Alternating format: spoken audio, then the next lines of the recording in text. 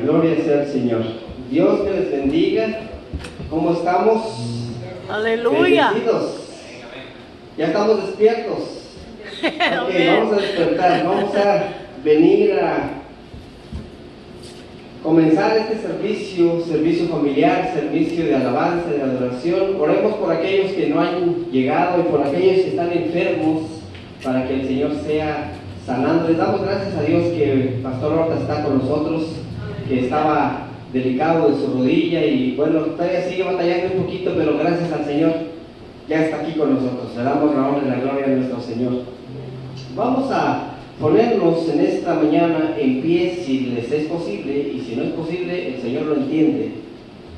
Así es que quédese sentado si, si no le es posible ponerse de pie. Pero vamos a ver la Sagrada Escritura. En el libro de los Proverbios, en el libro de los Proverbios capítulo 1, de los versos 1 al 7. ¿Alguien de ustedes me sabe decir qué quiere decir proverbio?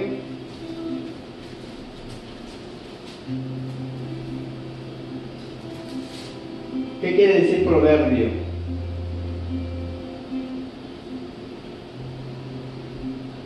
Mi madre decía que eran una especie, de refranes, una especie de consejos. Y este capítulo 1, cosa curiosa porque nos dice motivo de los proverbios, es decir, nos enseña cuál es el motivo de estos proverbios.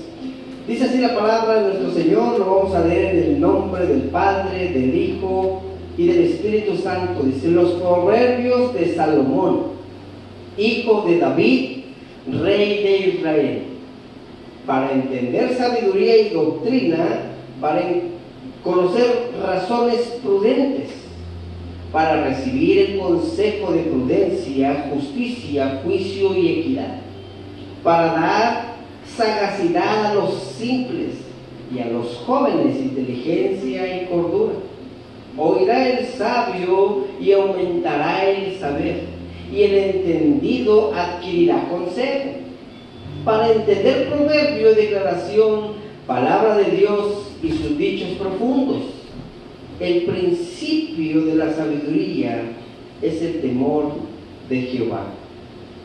Los insensatos desperdician la sabiduría y la enseñanza. Pero los que estamos aquí en la casa del Señor, ¿verdad que somos sabios? Aleluya, porque dice la palabra del Señor, el principio de la sabiduría es el temor de Jehová. Tenerle temor al Señor no es tenerle miedo.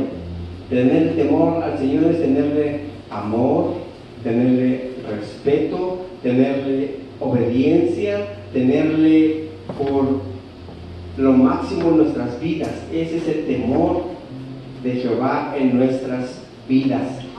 Así es que aleluya, vamos a disponernos en esta hermosa mañana. Vamos a pedirle a nuestro Creador que sea Él tomando la dirección de este servicio en esta hermosa mañana. Padre, nos dirigimos delante de ti, Señor, a pedirte, oh Padre Celestial, que seas tú, Señor, y no nosotros. Que seas tú, Señor, creciendo, Señor. Yo me hago pequeñito. Todos aquí nos menguamos, Señor, porque queremos que tú crezcas. Padre, te suplicamos que envíes tu santo y divino espíritu. Que tu espíritu, Señor, se mueva en cada rincón de este lugar. Y no solamente en cada rincón de este lugar, sino en nuestros corazones, oh Padre. Te suplicamos, Padre, que tomes con agrado, Señor, esta es nuestra ofrenda que queremos traerte delante de ti, Señor. Nuestra ofrenda de adoración y de glorificación a tu santo y bendito nombre, Señor, acompañado de este corazón contrito y humillado, Padre Celestial. Apresura los pasos de los que aún no llegan, Señor, y traerles con bien, oh Padre Celestial. Y permítenos, oh Padre, gozarnos en esta hermosa mañana, Señor. Gozarnos, Señor, y alegrarnos, Señor, en ti, oh Padre Celestial. Que nada ni nadie, Señor, pueda quitarnos ese gozo, esa paz, que solamente tú puedes dar, oh Padre Celestial. No importa, Señor, cuál sea nuestra situación en este momento, Señor. Queremos dejar toda esa preocupación fuera, Señor, y queremos enfocarnos 100% a ti. Hemos decidido, Señor, dedicar este tiempo en adoración, en alabanza, en glorificación a tu santo y bendito nombre, al Santo de Israel, al tres veces santo. A ese es al que adoramos y bendecimos en este santo lugar. Aleluya, en el nombre de Cristo Jesús, que es sobre todo nombre, oramos. Y el pueblo de Cristo dice, amén. Aleluya. Dispóngase mi hermano, mi hermana, a adorar al que vive y vive para siempre. Aleluya. Amen. The Bible says, enter his gates with thanksgiving La palabra de Dios dice, entramos por sus ah, puertas con alabanza o por and enter his courts with praise. y entrar sus atrios con alabanza. Hallelujah. But this first song we're going to do is Tu pueblo dice gracias. Hallelujah. Alabado.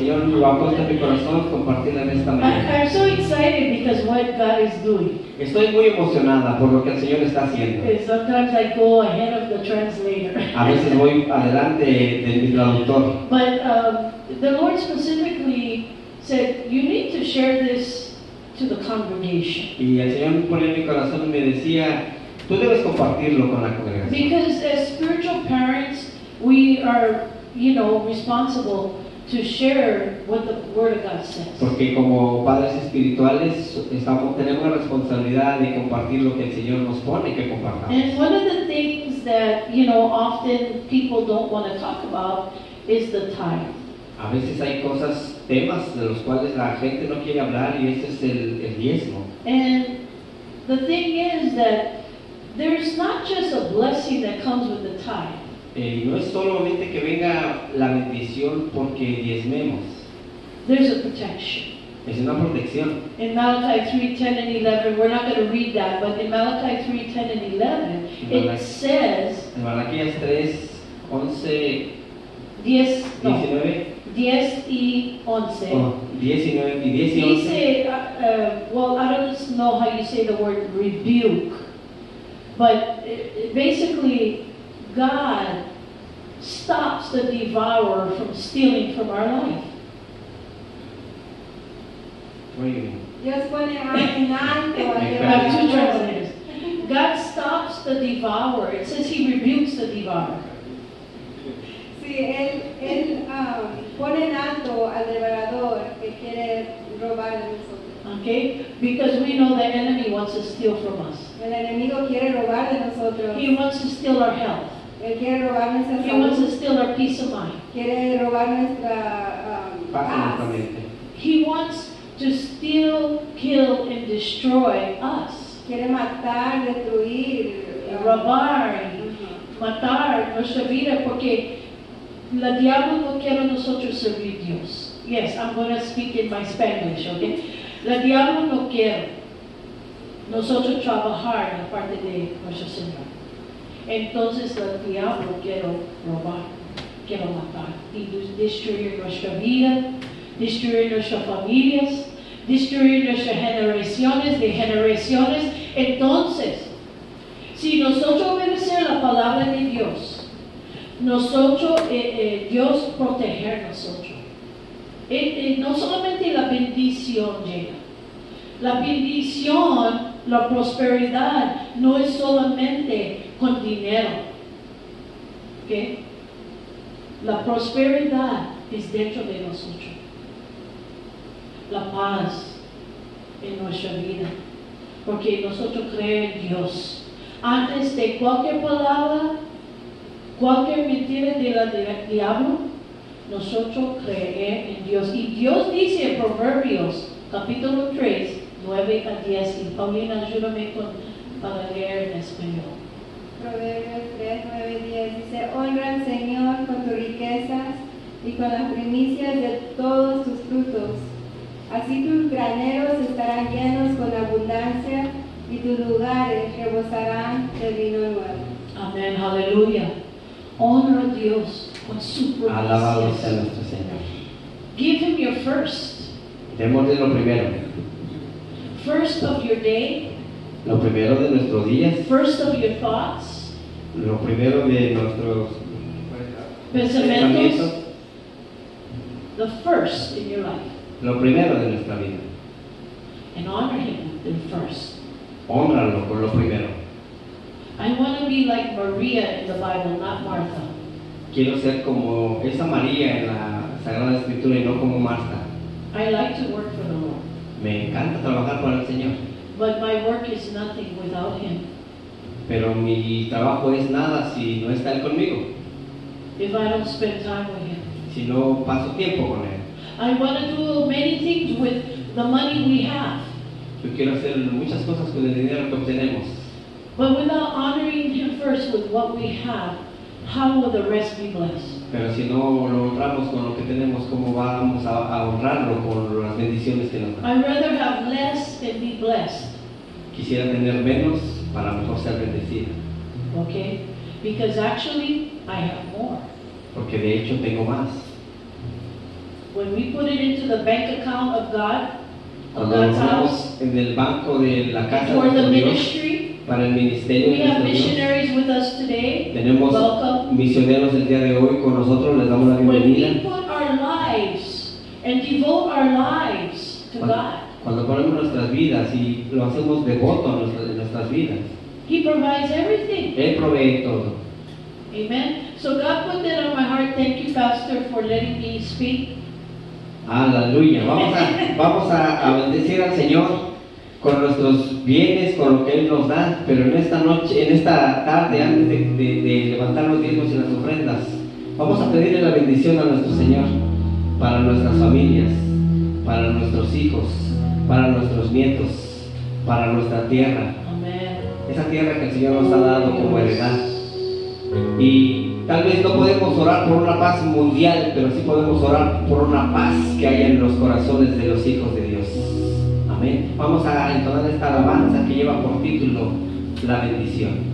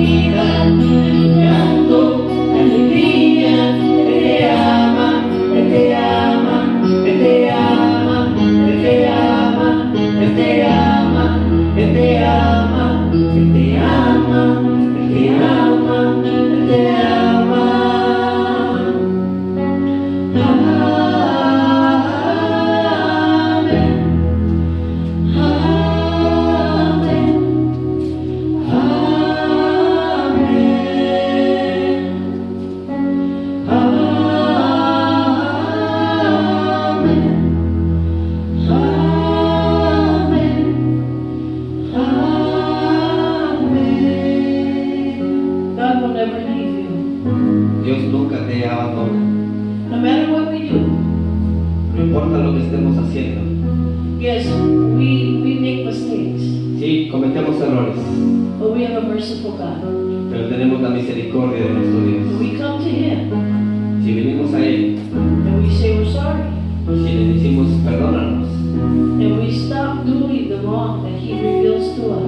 si paramos de hacer lo que Él nos ha revelado que está haciendo mal. Él es fiel, Él nos perdona, porque nos ama, He loves us, just like this song. He loves you. es porque nos ama, como dice este canto, nos ama. Este siguiente canto que vamos a entonar es una composición que el Señor me permitió hacer para la honra y gloria de nuestro Señor. Es el canto número 54 que el Señor me ha permitido componer. Y estoy contento porque no solamente eh, en este canto participé yo, sino que es el primer canto que participamos mi esposa y yo. Ella también compuso cierta parte de la letra y ambos le metimos la música. Así es que estamos ya eh, eh, tratando de sacar estos cantos que el Señor me ha dado, porque son mensajes para su pueblo. Envuélveme en tus brazos de amor, dice esta hermosa alabanza.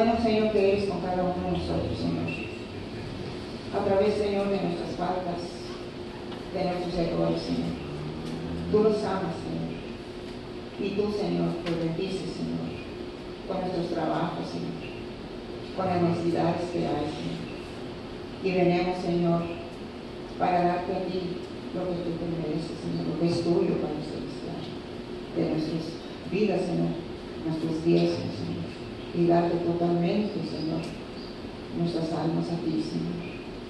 Gracias, Señor, por este día, Señor, porque tú, Señor, nos amas tanto, Señor. Gracias, mi Padre. En el nombre de Cristo Jesús. Amén.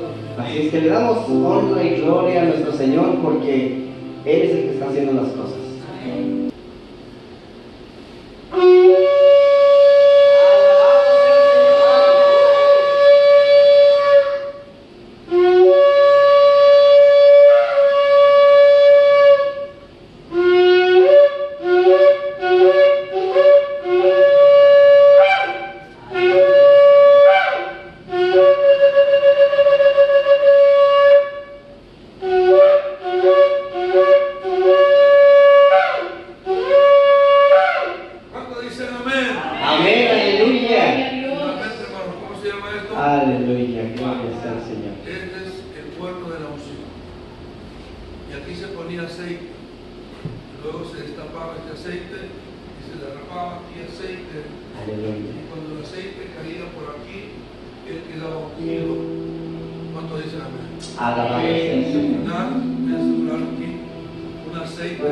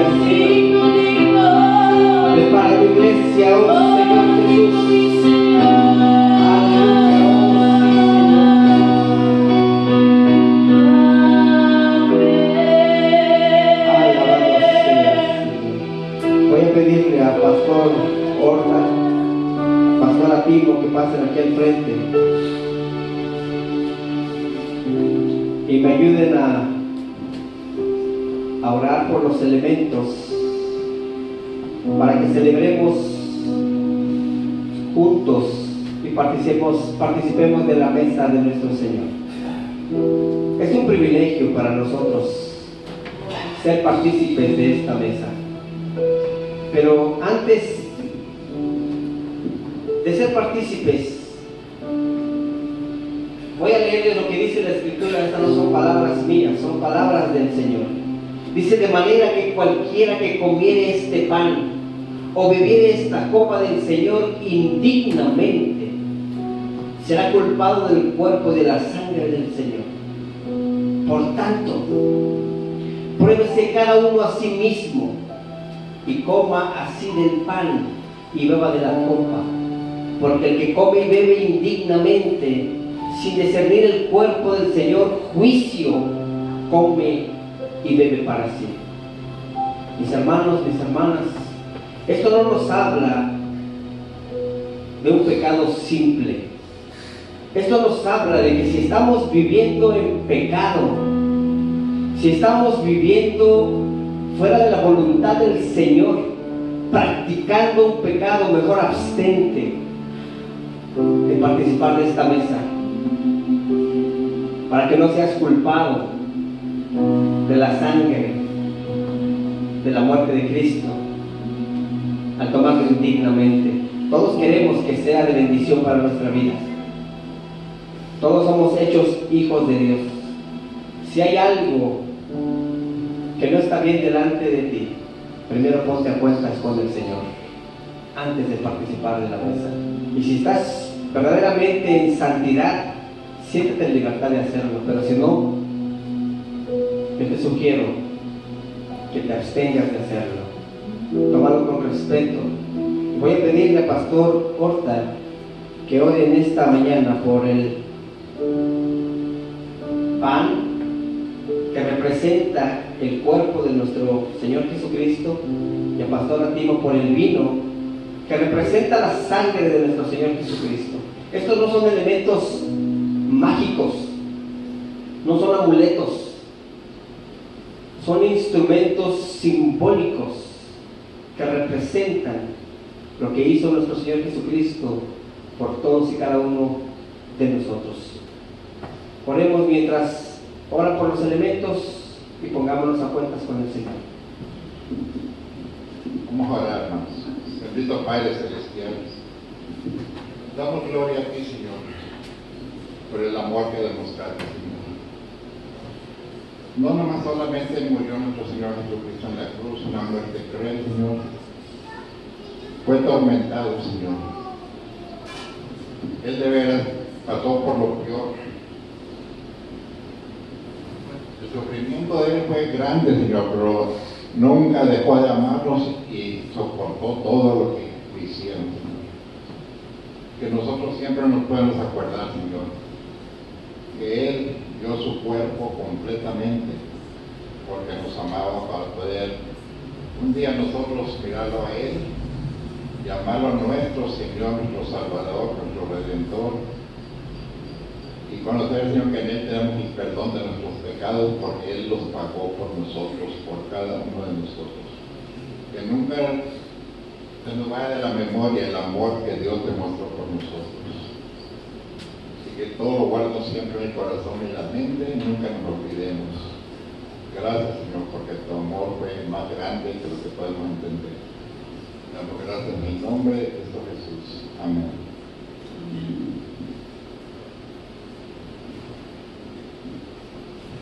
Señor y Padre Celestial, te damos gracias, Señor, por este día, Señor, por estar aquí, Señor, en tu presencia, Padre. Gracias, Señor, porque tú, Señor, dices tu vida, Señor, por nosotros, Señor. Derramaste tu sangre, Señor, por nosotros, Señor. De tanto que nos amaste, Señor. No paraste, Señor, aunque te golpearon, Señor nuestras cosas que te hicieron sufrir, Señor. Pero tú recibes porque los amamos, Señor. Derramar de esa sangre, Señor, en cada uno de nosotros, Señor. Aquí veremos en tu presencia, Señor. Dándote gracias, Señor, por Dios, Señor. Porque aunque no lo merecíamos, Señor, tú lo recibes por nosotros, Señor. Y te doy gracias por ello, Señor. En el nombre de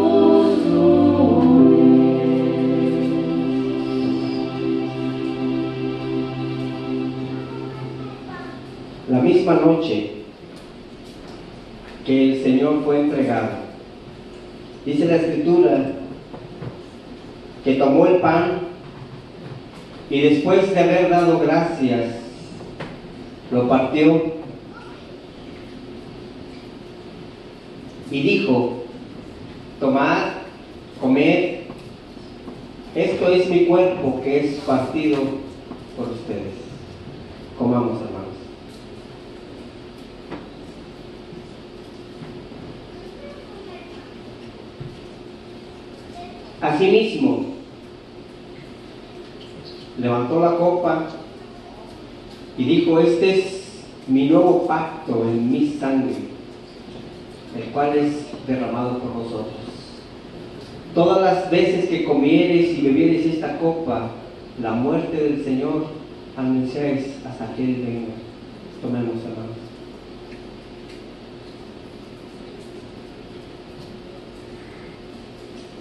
Padre, te alabamos, te glorificamos y te exaltamos, oh Señor.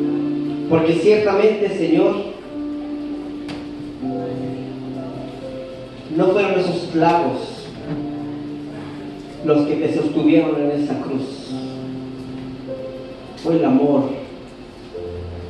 el que te sostuvo, Señor, por nosotros. No fueron los judíos, Señor, los que mataron a tu Hijo Jesucristo. Él entregó su vida en la cruz del Calvario por todos y cada uno de nosotros, judíos y no judíos. Porque tú no quieres la muerte del pecador, sino que el pecador se arrepienta, Señor. Y tú vienes por una iglesia pura, limpia, sin mancha, Señor. Y cuán hermoso será, Señor,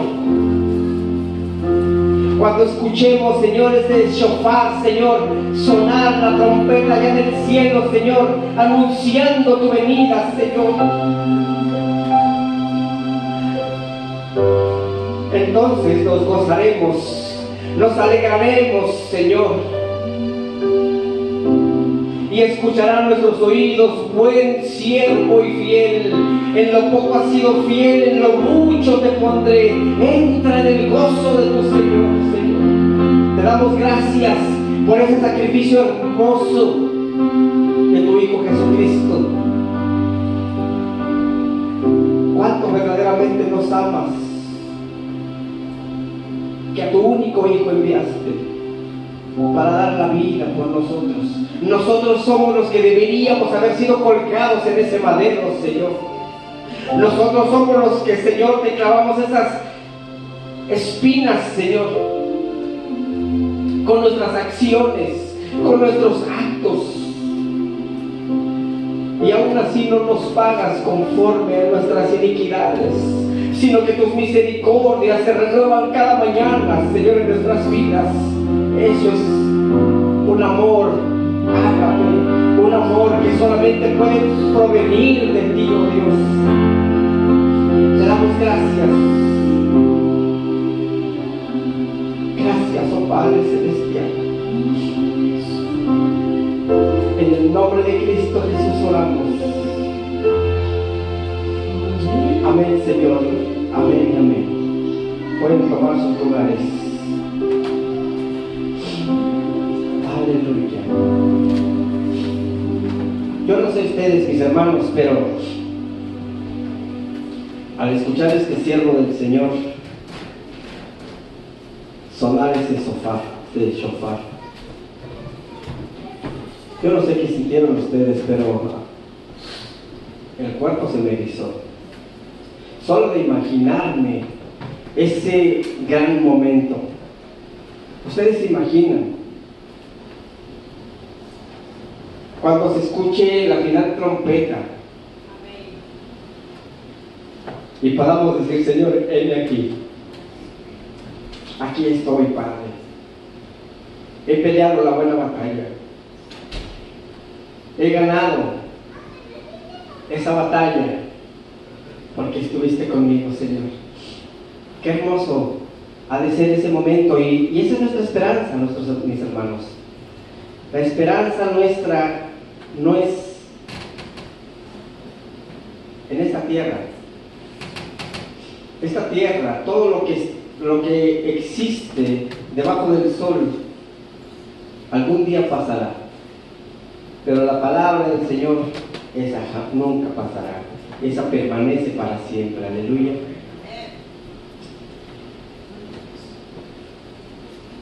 Los pequeñines pasan con la pastora Daniela para su clase.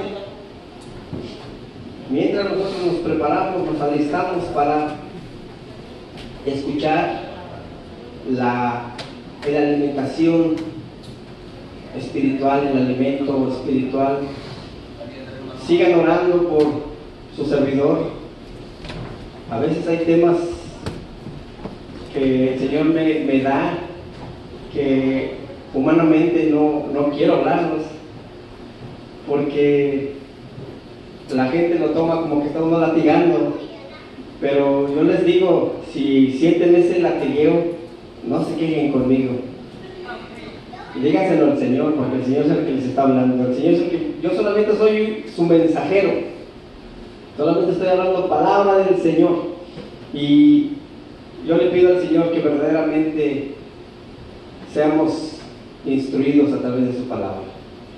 ¿Me ayudan a orar para que el Señor sea hablando en nuestros corazones esta mañana? Amantísimo Salvador que estás en el cielo y en todo lugar. Venimos, Señor, una vez más delante de tu presencia, oh Señor. Reconociendo, Señor, nuestra calidad humana, esa calidad que termina siempre haciendo lo que no queremos y lo que debemos de hacer, no lo hacemos, Señor. Pero Padre, sabemos que tú eres un Dios de amor. Y no queremos tomar, Señor, ese sacrificio en vano ni a la ligera que tú hiciste por nosotros, sino que queremos, oh Padre Celestial, verdaderamente tener una vida de obediencia, vivir una vida de santidad para ti, oh Señor. Padre, yo te pido que selles mis labios con el carbón encendido de tu unción y que sea hablando palabra tuya, no palabra mía, Señor y que suavices cada corazón, que prepares cada terreno donde ha de caer tu palabra, Señor, para que dé su fruto en tu tiempo, Padre Celestial. Háblanos, Señor, en esta hermosa mañana. Te lo pedimos en el nombre de Cristo Jesús. Amén, Señor. Amén. Amén. Como decía este siervo, nuestro Señor ahorita, cuando mostraba el cuadro de Jerusalén, y tienen las palabras de USA en medio. Y si ustedes creen las coincidencias, bueno, yo tampoco creo en las coincidencias. Habló también, al finalizar, de cómo se llena esa bota con aceite y se unge. Bueno, este, este, esta predicación yo la preparé el día martes yo conocí a este siervo el día de ayer. Y aquí podríamos ver otra coincidencia, que en el cristianismo no hay coincidencias. El título que le puse a esta predicación es El ungido de Dios. Alabado sea el Señor. Se dice y se ha escuchado siempre decir que todos los cristianos tenemos la unción de parte de Dios. Es decir, la bendición de Dios. Y hasta cierto punto es correcto, porque es Dios quien precisamente da la unción. Pero, como toda promesa dada por Dios, va acompañada siempre de una condición. Y es ahí donde a veces a nosotros no nos gusta, nos gusta tomar la bendición, pero como que se empieza a borrar la letra de nuestras Biblias en la parte de la condición. Déjenme decirlo de otra manera. En cada promesa dada por Dios, gracias por el hay una acción que el ser humano debe de realizar.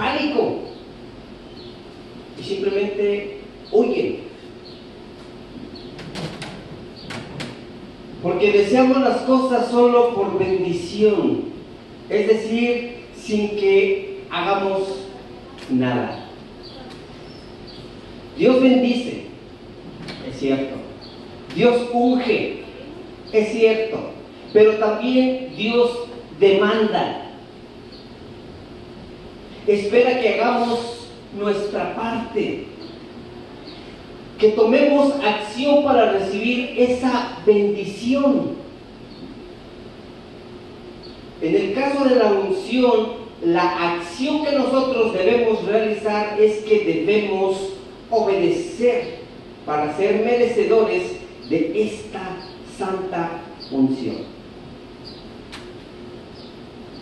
Pero mejor dejemos que sea la palabra de Dios que nos lo diga y no este servidor.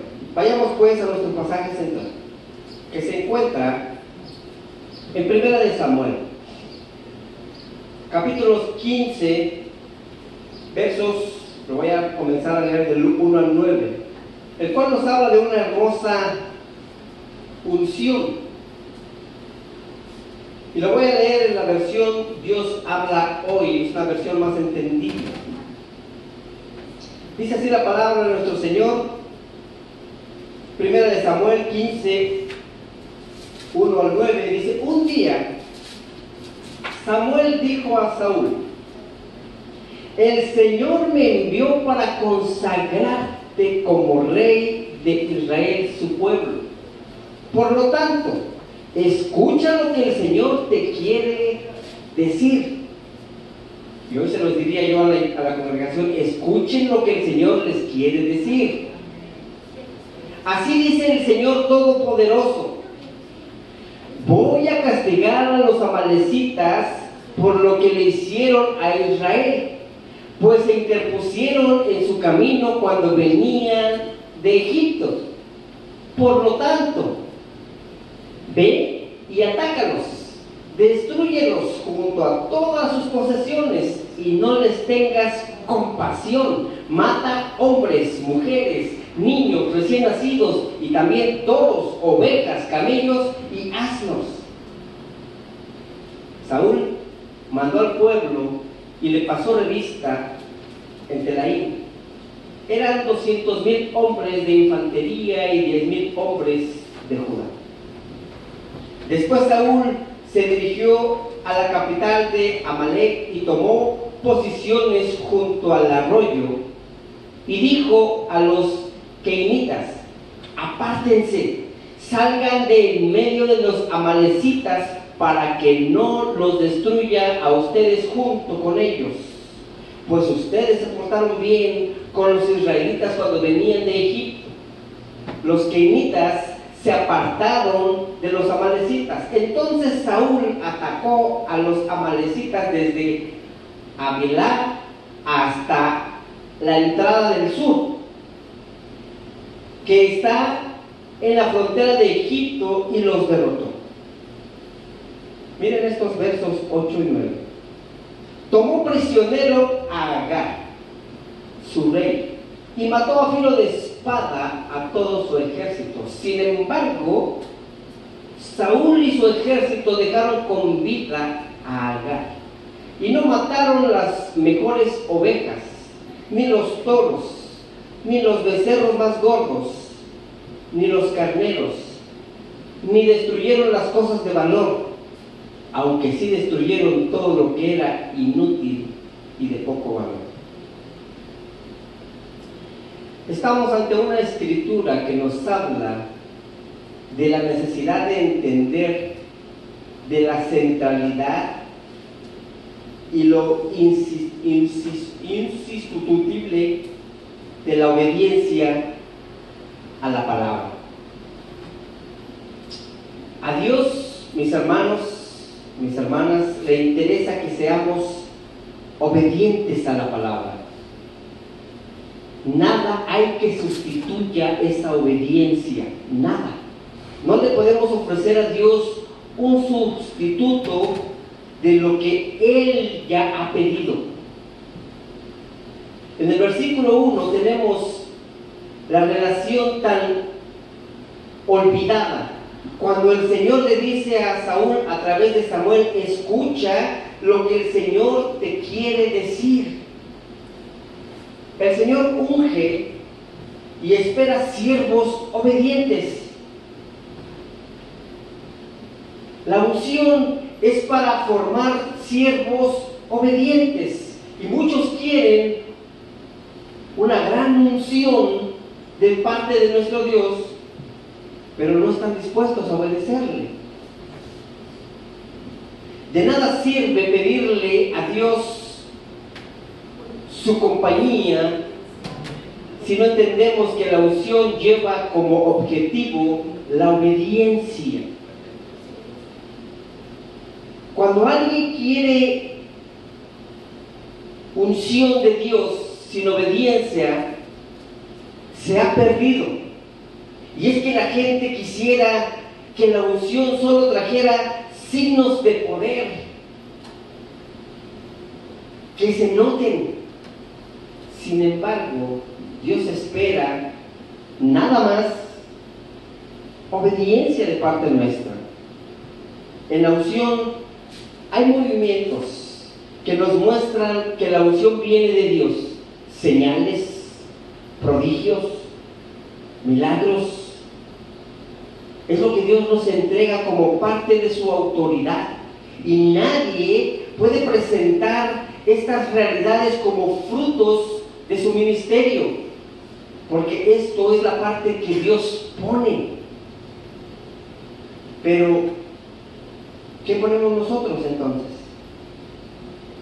Dios espera que pongamos obediencia. Saúl desobedeció e hizo que Dios le pesara haberlo ungido. Si continuamos leyendo, el mismo capítulo también nos habla de las consecuencias por no haber, no hacer parte de lo que nos corresponde a nosotros hacer. En los versos 10 al 21 del mismo capítulo 10, del mismo capítulo 15, perdón, de primera de Samuel, nos dice, luego el Señor le habló a Samuel y le dijo, me pesa haber hecho rey a Saúl, porque se ha apartado de mí y no ha cumplido mis órdenes. ¿Ustedes se imaginan que el Señor diga, me pesa haberlo puesto en este lugar? Qué triste. Me pesa haber hecho rey a Saúl, porque se ha apartado de mí y no ha cumplido mis órdenes. Samuel se quedó muy molesto y durante toda la noche tu- estuvo rogando al Señor. A la mañana siguiente madrugó para ir al encuentro de Saúl. Pero le avisaron que éste se había ido a Carmel, que ahí se había levantado un monumento. ¡Wow! ¡Qué orgulloso hombre! Ya se había levantado un monumento para sí mismo. Y que luego, dando un rodeo, había continuado hacia Gilgal. Había preparado, hecho una gran fiesta. Qué arrogancia de este hombre. Entonces Samuel fue a donde estaba Saúl, el cual le dijo, el Señor te bendiga. Ya he cumplido la orden del Señor. Mm. ¿Qué significan estos balidos de ovejas y esos bramidos de toros que estoy escuchando? respondió Samuel. Los han traído de Amelec, contestó Saúl, porque la gente ha conservado las mejores ovejas y los mejores toros para ofrecerlos en sacrificio al Señor, tu Dios. Mm, ya ni siquiera mi Dios, tu Dios. Pero hemos destruido lo demás. Una obediencia a medias. Calla, que te voy a anunciar lo que el Señor me dijo anoche, le interrumpió Samuel. Habla, respondió Saúl. Y Samuel dijo, ¿no te considerabas de poca importancia? Sin embargo, has llegado a ser el jefe de las tribus israelitas y el Señor te ha consagrado como rey de Israel. Ahora bien, si el Señor te envió con la orden estricta de destruir a esos pecadores amalecitas y de atacarlos hasta acabar con ellos, ¿por qué desobedeciste sus órdenes y te lanzaste sobre lo que, te, lo que se le quitó al enemigo actuando mal a los ojos del Señor. Saúl contestó, yo obedecí las órdenes del Señor, cumplí la misión que me encomendó. He traído prisionero a Agar, rey de Amalek, y destruido a los amalecitas. Pero las tropas se quedó con ovejas y toros lo mejor de lo que estaba designado a la destrucción para sacrificarlo en honor al Señor, tu Dios, en Gilgal. Una vez más, tu Dios. Ya ni siquiera se refiere a él, mi Dios. Se repite una vez más la historia del hombre. Adán y Eva, en el Edén, se les dio una orden misma que no cumplieron. Y al ser confrontados buscaron culpar a alguien más típico de la humanidad. Eva culpó a la serpiente. Adán culpó a Dios. ¿Tú me la diste, Señor?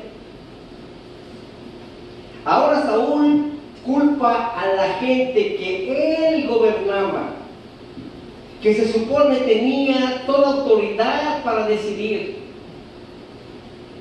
Y es que cuando estamos en desobediencia, se pierde todo. Primero, pierdes la autoridad dada por Dios. Segundo, pierdes el enfoque de tu llamado. Y tercero, buscamos excusarnos en algo. Sí, porque alguien más debe ser el culpable. Porque yo jamás me equivoco. Siempre hago las cosas bien. Siempre obedezco.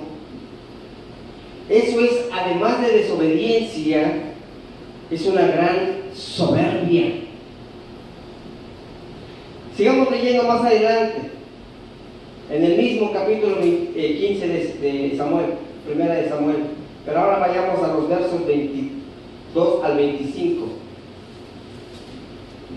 Entonces Samuel dijo, más le agrada al Señor que se le obedezca y no que se le ofrezcan sacrificios y holocaustos. Vale más obedecerlo y prestarle atención que ofrecerle sacrificios y grasa, de carneros. Tanta peca el que se revela contra él como el que practica adivinación. Imagínense, es semejante a quien adora a ídolos. Es aquel que los desobedece. La desobediencia es lo mismo que ser un idólatra, que ser un blasfemo. Es lo mismo. Y como tú has rechazado sus mandatos, ahora Él te rechaza como rey. Entonces Saúl dijo a Samuel, noten aquí lo que dice, sí he pecado, pues pasé por alto la orden del Señor y tus instrucciones, porque tuve miedo de la gente y atendí a su petición. Pero yo te ruego que perdones mi pecado y que regreses conmigo para adorar al Señor. Aquí vemos que Saúl realmente no estaba arrepentido. Él le dice al profeta, si he pecado, pues pasé por alto la orden del Señor y tus instrucciones. Para comenzar, no eran las instrucciones del profeta, eran instrucciones de Dios. Saúl jamás se dirigió Dios para pedir perdón, sino que dijo, pero yo te ruego que perdones mi pecado. Él se estaba dirigiendo a un profeta, no a Dios. Y que regreses conmigo para adorar al Señor. Y eso lo decía por apariencia. Simplemente lo que Saúl quería era verse bien ante la gente, presentarse como un hombre fiel e íntegro ante los demás, como comúnmente lo hace un cristiano de doble vida. Quiere presentarse como limpio, como puro, como cristiano verdadero ante los demás. Pero Dios ya se había apartado de Saúl. Y si la presencia de Dios en nuestras vidas se ha apartado, es imposible hacer nada. Nada. Nadie podría presentar el poder en medio de una predicación, por más que lo intentara. No puede. O tampoco pueden haber sanidades y milagros que se han dado en nuestro ministerio por nada. Porque eso es la parte que ya Dios pone. Eso es el poder de nuestro Dios en nuestras vidas. Somos hechos nuevas criaturas para hacer las cosas que ya han sido predestinadas para nosotros. Las promesas se cumplen, sí, sí se cumplen, mi hermano, mi hermana, cuando estamos en obediencia, cuando permanecemos en Cristo. Yo no puedo decir, ah, dice la Escritura, cree en el Señor Jesucristo y serás salvo tú y toda tu casa, y tú vives tu vida de hipocresía, teniendo una doble vida. ¿Esa promesa se va a aplicar en tu vida? No se puede aplicar en tu vida. Estás en desobediencia. Las promesas se cumplen, sí, cuando estamos en obediencia, cuando permanecemos en Cristo. Segunda de Corintios 1.20, en la versión Dios habla hoy, nos dice, pues en Él se cumplen todas las promesas de Dios. Por esto, cuando hablamos a Dios, decimos amén por medio de Cristo Jesús. Nada puede salir por nosotros mismos. Nosotros no tenemos poder. El que tiene poder para cambiar las personas, para limpiarlas, es su Santo y Divino Espíritu, no nosotros. Deja de decir, esta promesa es mía. Deja de decir, esta promesa es mía si no estás dispuesto a obedecer. Porque déjame decirte, mi hermano, mi hermana, que jamás va a ser tuya si no estás en obediencia. Porque todas las promesas que ha hecho Dios son sí, pero en Cristo. Así que por medio de Cristo podemos decir que respondemos todo el tiempo amén, pero es para la gloria de nuestro Dios. Dios es el que nos mantiene firmes en Cristo. Tanto a nosotros como pastores, como a ustedes como rebaño. Él nos ungió. Nadie me puso aquí en este lugar por una campaña electoral o por mayoría de votos. Fui puesto en este lugar por la gracia de mi Señor. Tú has sido llamado a este santo lugar no porque yo te fui a buscar a tu casa. El Señor te trajo a este santo lugar. Es decir, que Él es quien nos escoge, Él es quien nos unge, Él es quien nos prepara, Él es quien nos capacita y Él es quien nos envía. Pero nosotros debemos ser obedientes. No podemos vivir una cristiandad a medias. Efesios 1.13. Dice, gracias a Dios, también ustedes que oyeron el mensaje de la verdad. Y esto es solamente para los que han oído el mensaje, porque ahí parece que hubiera muchos cristianos sordos. Gracias a Cristo también, ustedes que oyeron el mensaje de la verdad, la buena noticia de salvación y abrazaron la fe, fueron sellados como propiedad con el Espíritu de Santo de nuestro Dios que Él había prometido. Hay una gran diferencia entre tener el, el sello, la marca del Espíritu Santo, en tener la unción de nuestro Señor. Todos somos sellados cuando recibimos a Cristo como nuestro único suficiente Salvador. Pero depende de nosotros que vivamos en obediencia para alcanzar esa santidad que nos está demandando nuestro Señor. La unción es la preparación de Dios ante sus promesas. Es decir, todos vivimos bajo una promesa y como garantía hemos recibido su Santo Espíritu. Y eso se llama unción. Pero solo en obediencia es que puede ser nuestra. Es que podemos decir, he atesorado esa unción. Al que se, se le ha sido hecha esa unción, se le pide que sea obediente a la palabra.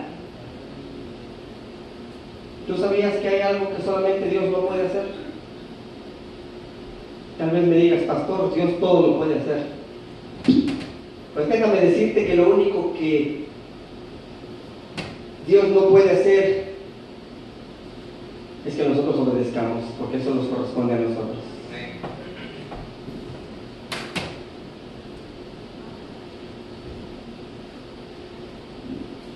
Porque Él no puede obedecer por nosotros. Esa es tarea nuestra. Como tu hijo no puede obedecer por ti, Él tiene que tomar la decisión de obedecer. Dice la escritura, honra a tu padre y a tu madre para que te vaya bien. Y hay quienes escudan y dicen, ah, pero es que yo no puedo honrar a mi padre, a mi madre porque son malos conmigo. La escritura no dice, honra a tu padre y a tu madre si son buenos contigo. Dice, honra a tu padre y a tu madre para que te vaya bien en esta tierra que Jehová tu Dios te da. Que Dios nos hable puede resultar una maravilla. Si el Señor te está hablando en este momento, puede resultar una maravilla. Cuando estamos en obediencia. Pero que sea para desecharnos, debe ser algo desagradable. Te pregunto, y analízalo muy bien, ¿qué ¿Qué es lo que Dios te ha pedido que hagas? Que lo estás haciendo a tu modo. Porque eso no es obediencia. Puede ser en tus finanzas. Yo no diezmo porque mejor veo las necesidades y suplo lo que dice alguien que necesita. La escritura dice, traer los diezmos y la alfolí, no te dice que lo hagas a tu modo. Puede ser en el tiempo, en el tiempo a nuestro Señor. Yo vengo a la iglesia solo cuando tengo tiempo. Ah, y cuando son días de servicio. En las otras actividades yo no puedo. Yo no tengo tiempo. Eso es desobediencia. Puede ser en los talentos que nuestro Dios te ha dotado. A muchos de aquí les ha dado muchos dones y talentos. ¿Dónde están esos dones y talentos? Es que no soy muy bueno. Es que debo de darle lo mejor a mi Señor. Totalmente de acuerdo. Pero si no te pones en sus manos, ¿cómo serás mejor? La pregunta concreta es, ¿realmente estás haciendo la voluntad de Dios o tu voluntad? Más le agrada al Señor que se le obedezca y no que se le ofrezcan sacrificios y holocaustos. Vale más obedecerlo y prestarle atención. ¿Atención a qué? A lo que nos está indicando que hagamos. Que ofrecerle sacrificios y grasa de carneros.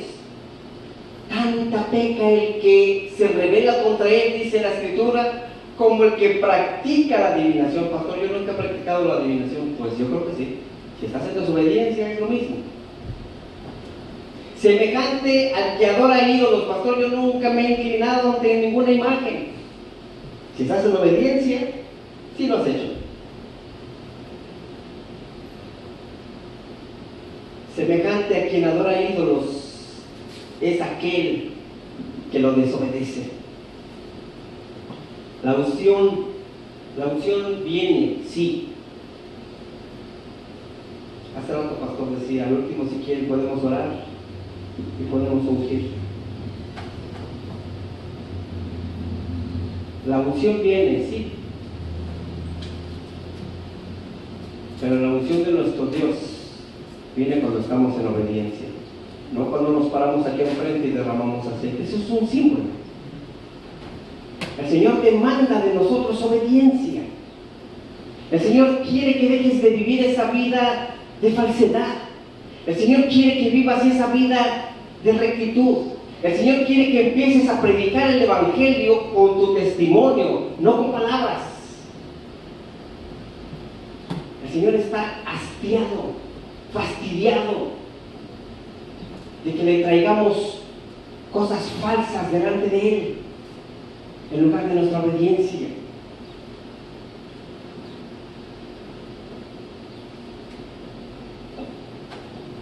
La unción es el poder de Dios, el poder sobrenatural de Dios que transforma y salva vidas.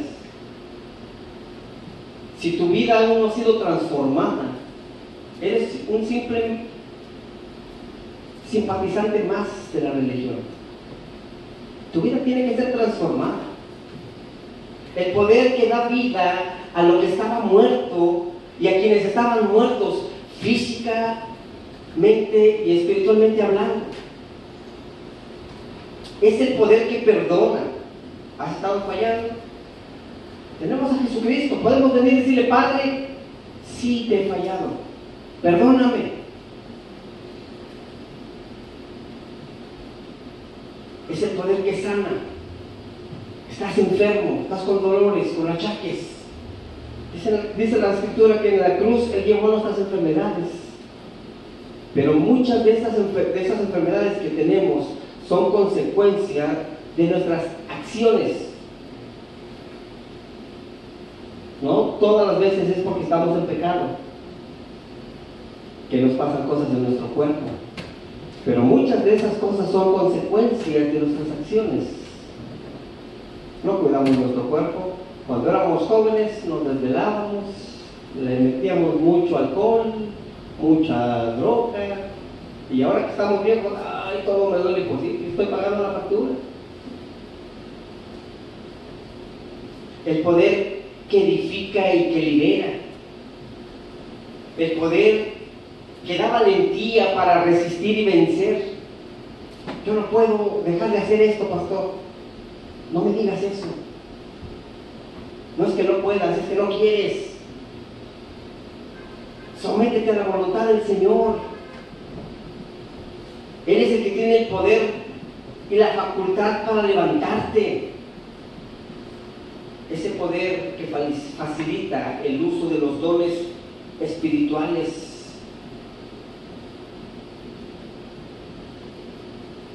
Isaías 61, versos 1 y 3, nos dice,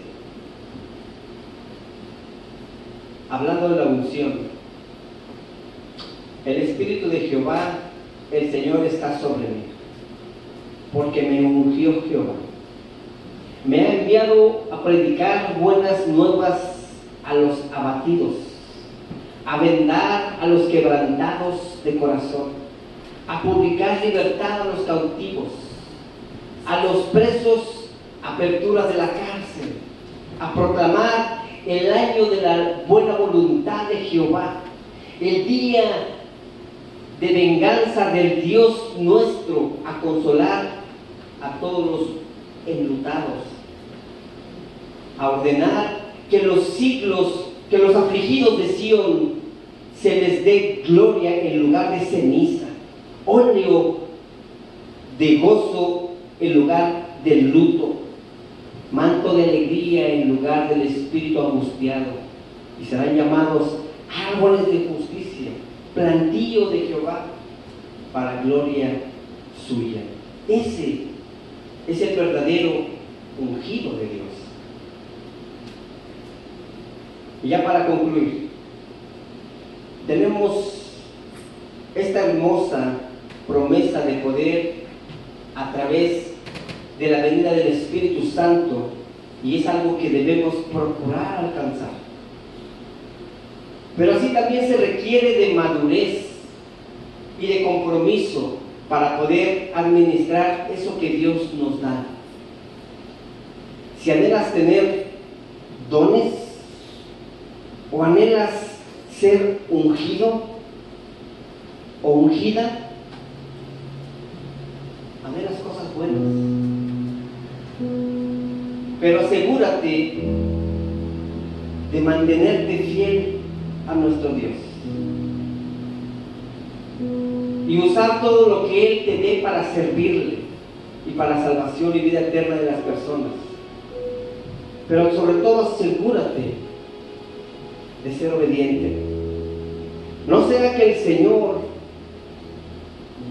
al final te diga como a Saúl,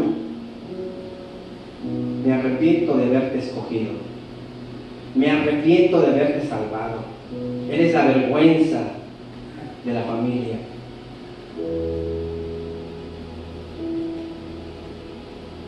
No esperes que el Señor te diga eso. Mantente en obediencia. El Señor demanda obediencia. El Señor no quiere desecharte como desechó a Saúl. El Señor quiere darte la oportunidad de que te mantengas en esa obediencia. Yo no sé si tú ves las noticias, pero la venida de nuestro Señor Jesucristo está cerca. Y vale más que el Señor nos haya haciendo el bien. Porque sería terrible, yo no sé cuántos años llevas en el cristianismo, pero sería terrible que llevaras toda tu vida en el cristianismo y por tu desobediencia te quedaras. Sería triste. Yo no sé si tú vayas a ser de los que escuchen ese sofá cuando se suene la trompeta final. Porque si estás en desobediencia, tanto bullicio de este mundo, no te van a dejar escuchar ese shofar. Que el Señor nos permita verdaderamente estar atento, dice la palabra del Señor, yo estoy a la puerta y llamo. El que escucha mi voz dice, y abre la puerta, yo estaré con él y él conmigo. Iglesia, ¿por qué no te pones en pie? Y si el Señor te ha hablado en esta mañana, que seguramente te lo ha hecho, y si hay algo todavía dentro de ti que no has entregado al Señor, no esperes a que el Señor te deseche. Comienza a obedecer. Comienza a vivir una vida en santidad. Nunca es tarde. Lo veíamos en la mañana con el caso de Judas. Judas no se arrepintió. Él tuvo un remordimiento. Su mismo pecado le causaba esa locura dentro de su ser que terminó quitándose la vida. No dejes que el pecado te atrape de tal forma que te envuelva dentro de su locura y te quite la vida. Y estoy hablando de manera espiritual, que te lleve a muerte espiritual. Padre, te pedimos, oh Señor, que perdones nuestras fallas, nuestros pecados, Señor. Ciertamente, Señor, como dijera Pablo, termino haciendo todo lo que no quiero hacer, y lo que debo de hacer no lo hago, Señor. Y es porque estoy en la lucha constante de esta carne. Y voy a tener esa lucha, Señor, hasta que tú me llames a tu presencia o vengas por tu iglesia. Pero Padre, yo quiero ser, como dice Filipenses 4:13, todo lo puedo en Cristo que me fortalece. Quiero que tú seas mi fortaleza, Señor. Que tú me ayudes a caminar en obediencia, Señor. Si tú me dices hacia la derecha, yo voy hacia la derecha, Señor. Si tú me dices hacia la izquierda, hacia la izquierda, Señor. Si tú me dices detente aquí, ahí me voy a detener, Señor. Ya no quiero seguir caminando, Señor. A lo que yo creo que está bien. Quiero caminar conforme a tu voluntad. Paso, quiero que lo des conmigo, Señor. Si le hablo a mi familia de ti, quiero que sea con mi testimonio, Señor. Si quiero obedecerte, Señor, quiero obedecerte con todo lo que tú me das. Porque a fin de cuentas, todo te pertenece a ti, Señor. Nada de lo que yo tengo en esta tierra es mío, nada. Todo te pertenece a ti. Mis bienes, mi familia, mis hijos, mis nietos, todo te pertenece a ti, Señor. Lo único que pudiera ser mío, Señor, sería mi obediencia. Y es, es ahí donde te pido que me ayudes. Para que pueda, Señor, llevarla a cabalidad esa obediencia en todo momento de mi vida, dentro de tu casa y fuera de tu casa aún más. Quiero ser obediente, Señor. Y permíteme, Señor, interceder por cada uno de tus hijos de esta amada congregación, Señor. Si alguno de ellos ha fallado, Señor, no le deseches, Padre. Perdónale, Padre. Dale una oportunidad más, Señor. No le deseches, Padre. Vale también tu sangre, Señor.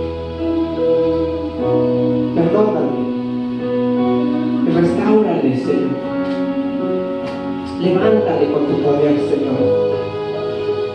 Queremos ser hombres y mujeres de bien, obedientes, leales a tu palabra, Señor.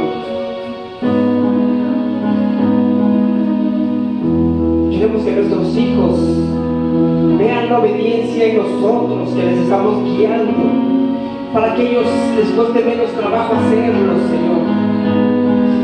Queremos enseñarles la obediencia con nuestras acciones. Ayúdanos, oh Señor Jesús. Ciertamente, Señor, tú vienes por una iglesia pura, limpia, sin mancha, Señor. Y si vinieras en este preciso momento, Señor, cuánto me temo que muchos Señor. Por lo cual suplico misericordia, Señor. Y agradezco tu tardanza, Señor. Eso que muchos toman por tardanza, Señor, es misericordia tuya. Y yo te doy gracias por ello, Señor. Te alabamos y te bendecimos, oh Padre Celestial.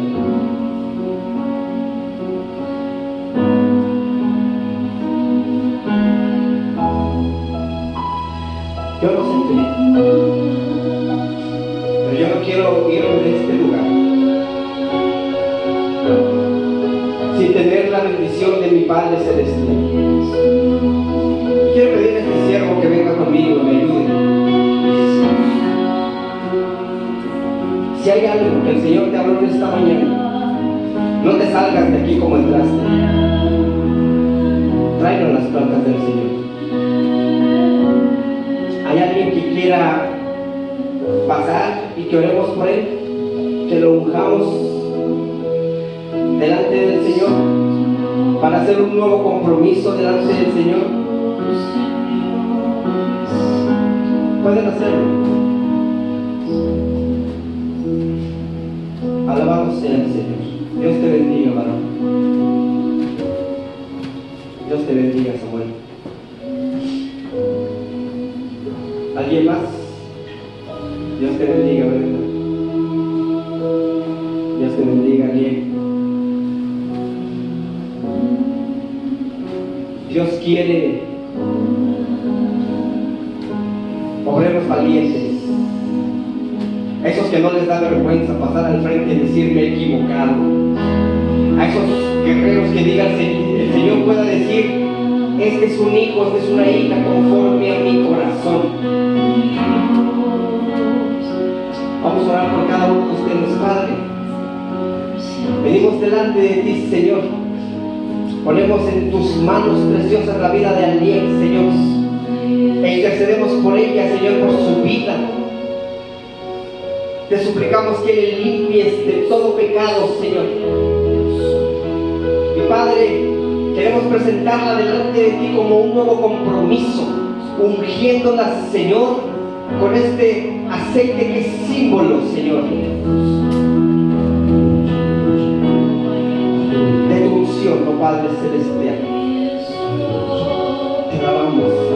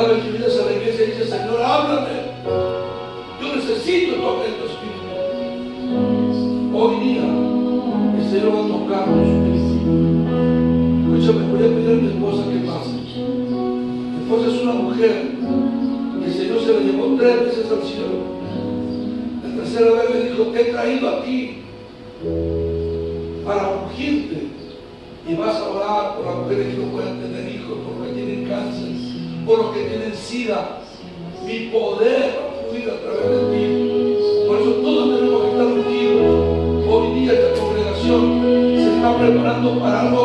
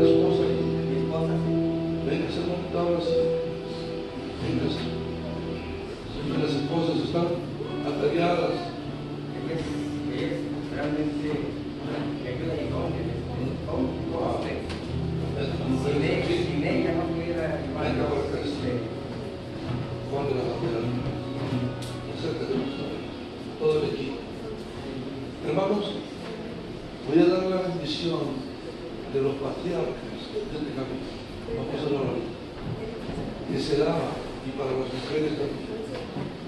Final, mi esposa va a terminar con las nosotras como para toda esta hermosa congregación. No hay nada de casualidad. Es un culto para él. Es un día especial.